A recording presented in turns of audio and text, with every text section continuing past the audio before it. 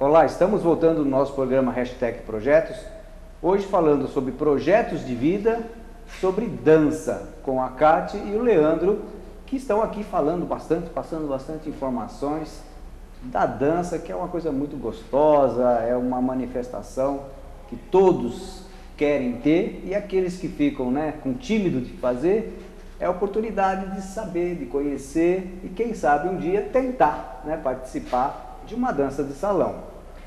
Então, como nós estávamos falando, o interessante também da dança de salão é que lá vocês têm aulas de vários ritmos.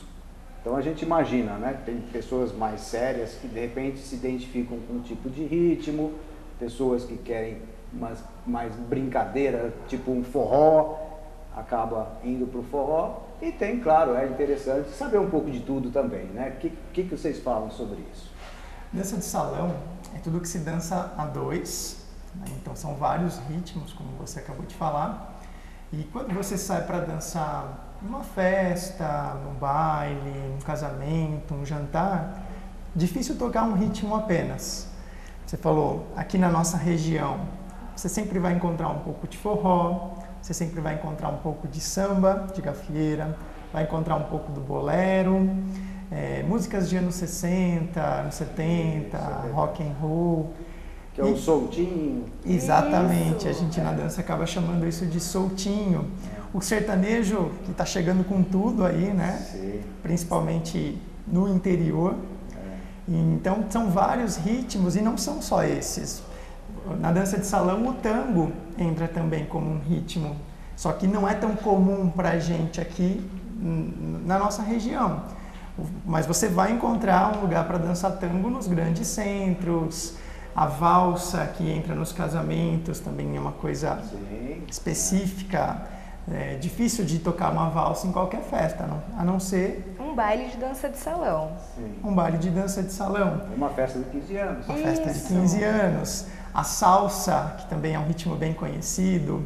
O zuki, que também é um ritmo conhecido, ele é parecido com a lambada só que de uma maneira mais lenta, de uma maneira mais sensual.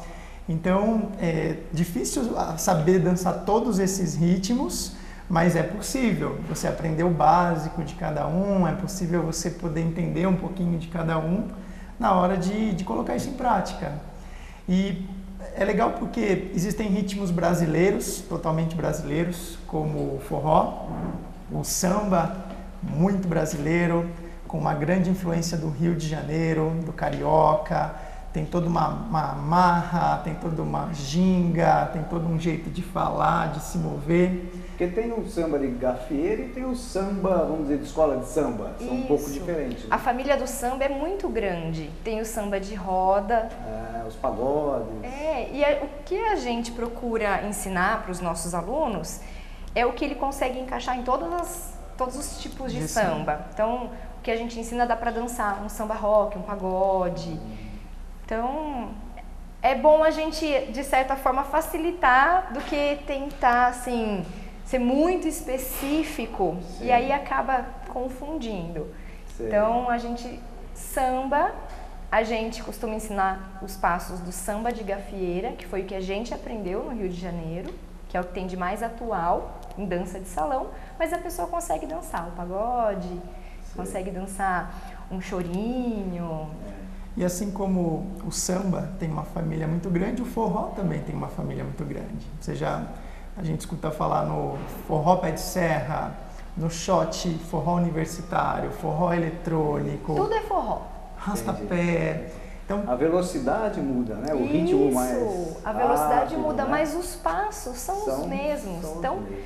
sabendo pelo menos o básico, já dá para se divertir e não passar vergonha, né? existe, existe uma coisa, às vezes o pessoal do Nordeste vai dançar um pouquinho diferente do pessoal do interior, e isso acontece na dança de salão, assim, ela é diferente de um, de um lugar para o outro. Sim. Mas é o que torna também interessante. Eu acredito que ele seja até dinâmica no sentido assim, novos passos se criam, é, né? Porque dentro daquele ritmo há um desenvolvimento mesmo, né? Natural é, da, da, própria dança. A dança evolui. evolui. Assim como um celular. Hoje é de um jeito, amanhã já tem novas tecnologias. A dança também, ela evolui. Então, é nossa obrigação como professores de dança estar tá sempre se atualizando, né, fazendo cursos.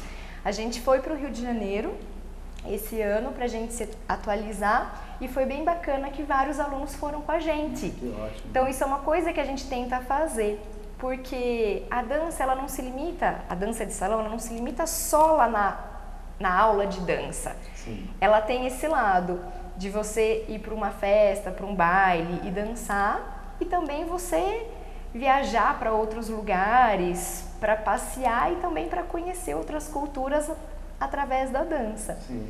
Então foi bem bacana, porque foram casais, mas também foram pessoas que não têm par Tá. nesse passeio com a gente. Porque a dança de salão, a gente fala que é uma dança a três, o homem, a mulher e a música. Mas você não precisa ter um par para aprender a dançar. Você pode dançar com outras pessoas que também não têm par. Sim. E isso vai ampliando o círculo de amizades. Muitas pessoas que estavam é, passando por momentos delicados, que perderam seus parceiros ou após uma separação, procuram a dança para poder se integrar novamente, para fazer novos amigos. Então é legal que a linguagem da dança é universal. Então você aprende a dançar aqui, depois você sai para dançar em qualquer lugar do Brasil, do mundo, que você vai conhecer outras pessoas que vão falar a mesma língua, né, que é a linguagem da dança. Muitas amizades se formam através da dança, amizades duradouras, assim. A gente, os alunos sempre contam que todo final de semana tem uma festinha, ou eles se encontram na casa de alguém, ou eles combinam para saírem juntos para dançar. Isso é muito bacana.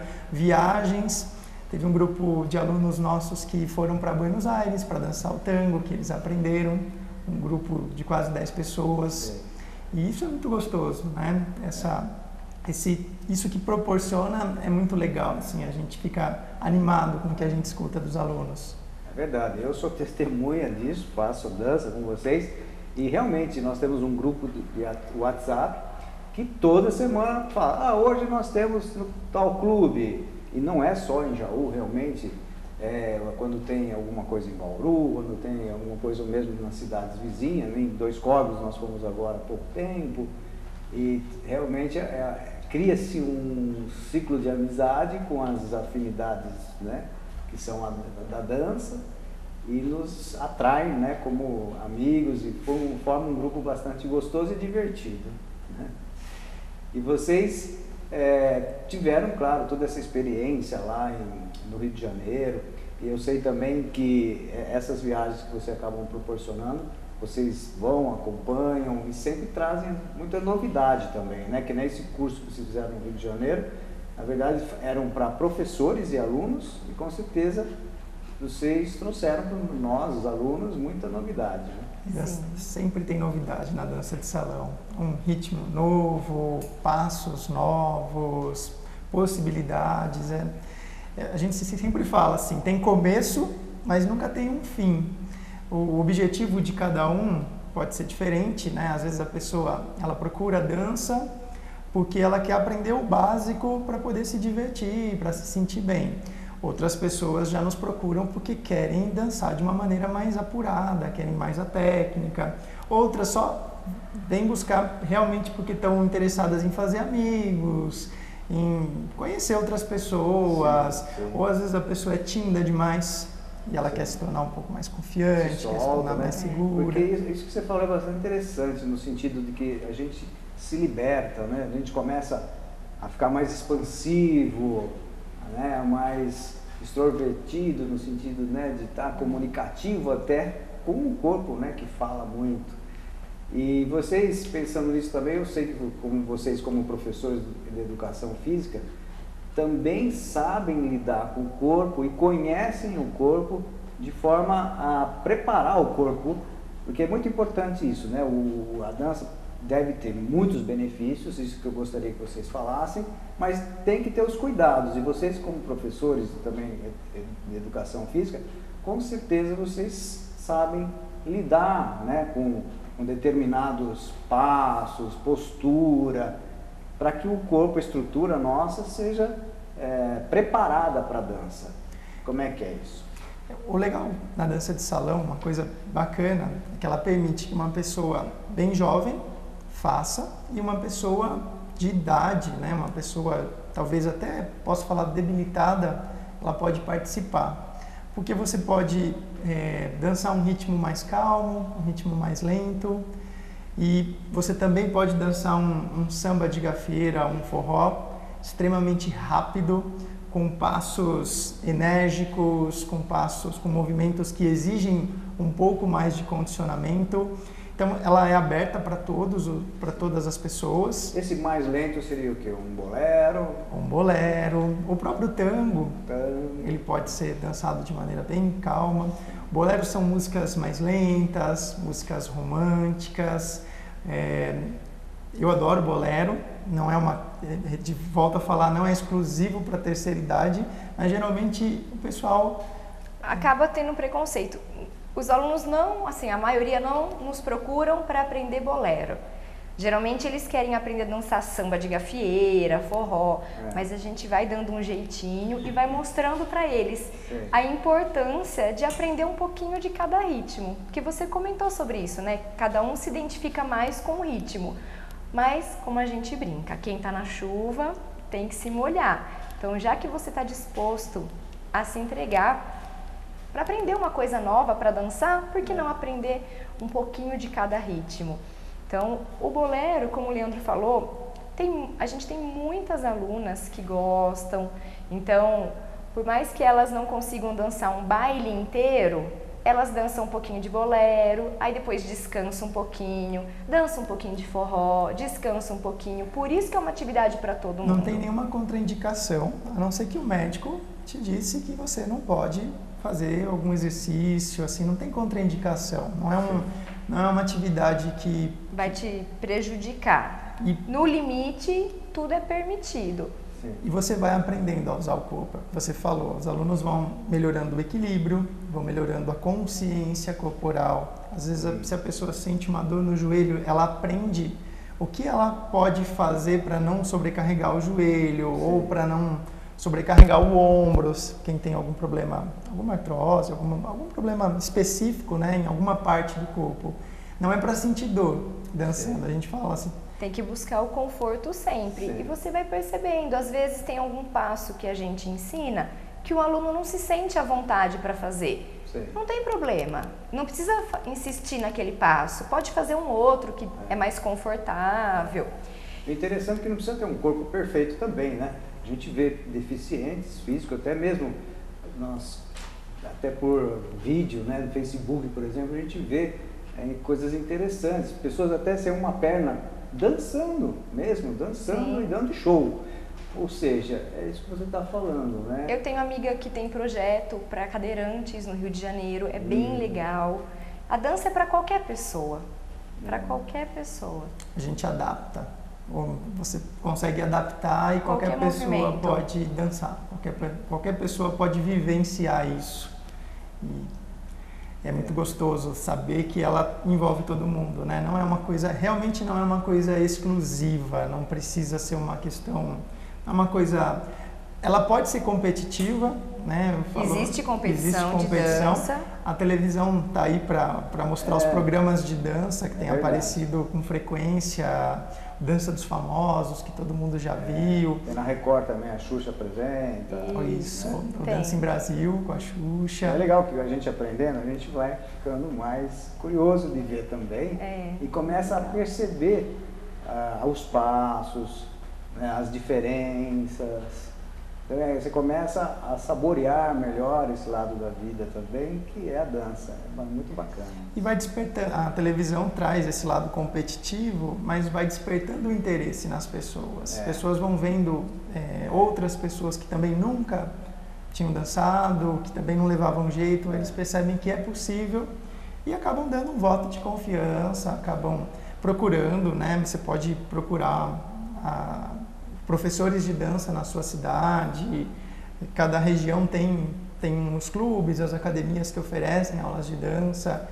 E... Só não pode deixar para amanhã. Exatamente. Né? Começar, Sempre né? fica a promessa, ai, ano que vem eu faço. É, verdade. A gente tem que aproveitar Tem a que aproveitar e oportunidade, fazer, a porque saúde. Realmente a recompensa vem, né? É interessante, eu posso dar um testemunho aqui que é, quando a gente começa a aprender né, toda as, eh, esses ritmos diferentes, então tem cada um tem sua técnica, mas chega num momento que você vai, é, vamos dizer, não é que seja dominando ainda, porque a gente está no começo, mas vai facilitando para todas as danças, né? Porque você começa a perceber, você começa a ter, a, a entender essa linguagem da dança. E vocês, com certeza, fizeram tudo esse desenvolvimento. E eu queria saber também sobre essa parte, assim, um pouco mais, saber dos ritmos. Porque muita gente, gente às vezes, não, não sabe exatamente, por exemplo, é, um bolero, por exemplo, né? É, como que é. E para isso eu acho que a gente vai ter uma surpresa, né? No próximo bloco, eu queria que vocês mostrassem um pouco os passos, tá? Combinado. Tudo Maior bem? prazer. A gente A mostra gente sim. está aqui para ajudar. E até dar umas dicas aí pro, pro pessoal aí, o que, que podem fazer para começar a dançar. Ótimo, ótimo. E, e essa dança sempre, é, como vocês falaram, a de salão é, é a dois, né? é uma dança a dois. E isso é, é- é muito é, agradável, né? porque você, como você falou, acaba atraindo né? um grupo de pessoas, você não dança sozinho. E no caso, é, tem também, é, a gente, eu não conheço, mas tem também balés mais modernos, né? O balé fit, alguma coisa assim. Sim, tem diversas são- modalidades. Tem gente que não gosta muito de ir numa academia, ficar numa esteira, fazendo é, exercícios repetitivos. Ah, sim. A dança, ela entra como uma atividade para quem quer se Física, exercitar. Entendi. Então, tem as aulas de zumba, Isso. tem as aulas de balé clássico, tem as aulas de balé fitness. Esses já são mais sozinhos. Sim, Isso. você faz sozinho e os benefícios para o corpo, para a mente, assim, são os mesmos. A dança ela acaba trabalhando o corpo todo. Então, além de você estar lá se distraindo, você também está se exercitando. Por isso que tanta gente procura dança, por ser uma atividade que envolve música, uma atividade que acaba sendo prazerosa, diferente de um exercício que você fica né, repetindo várias vezes. Sim. Então, eu acho que cada um tem que achar a atividade que se identifica para buscar a qualidade de vida. Que hoje em dia a gente passa muito tempo sentado no celular, no computador, e o nosso corpo foi feito para o movimento. Então, a gente tem que aproveitar, achar alguma atividade que goste É. para a gente poder exercitar mesmo o nosso corpo, nossa mente. E a dança, como é a nossa paixão, a gente fala assim que é muito indicada para quem quer fazer uma atividade física e ao mesmo tempo conhecer gente. Funciona como um remédio É. para o corpo e para a mente. mente. É muito socializante, né? Porque, é, como você falou, além de ser para todas as idades, porque tem coisas que é para todas as idades, mas é assim, os mais novos os mais novos, os mais velhos os mais velhos. E na aula de vocês não é isso que acontece, né? Você vê jovens, né? Que estão saindo da adolescência, 20 anos, tal, dançando com senhores, com senhoras, fazendo par. Isso é é, é, é difícil um esporte, né? Que seja dessa forma. Com certeza, ela possibilita essa aproximação. E assim, essa troca, né? Que bom, que bom. Nós então agora estamos terminando o segundo bloco e nós vamos voltar daqui a pouco. Vamos passar então um pouquinho mais informações sobre as técnicas de cada ritmo. Tudo bem? Então até daqui a pouco.